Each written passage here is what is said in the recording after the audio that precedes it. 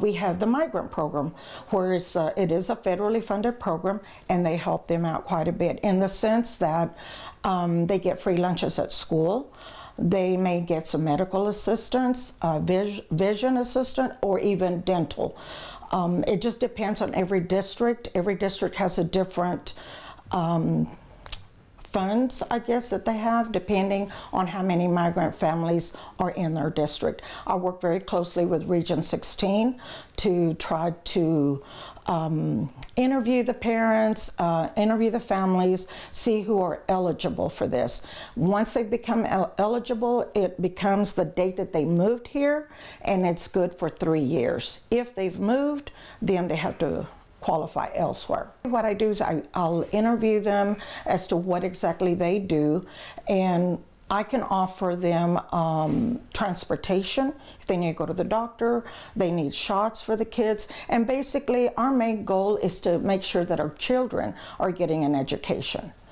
A lot of the people that come don't have an education, they may not be able to read or write, so our sole purpose is to educate the children. Our children are um, from newborn up to 22 years old. Once they turn 22, they're on their own if they have not graduated. So I help them in any way that I can, refer them to either the Nazarene Ministry for clothing, food pantry, whatever they have, the well for, for medical assistance. Um, I also can take them to Dumas. We have an ESL class, and they have ESL classes here as well. We want to empower our people, the people that are coming, to be able to to support themselves, to get better jobs. Um, I know the majority of them want to teach their children to have a better life. In school, we say it takes a village to raise a child.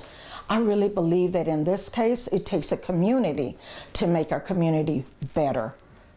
I believe in the migrant program. I believe in what the uh, Nazarene ministries are doing. They, it's, a, it's an amazing job because we have partnered to help each individual. Everybody deserves that chance.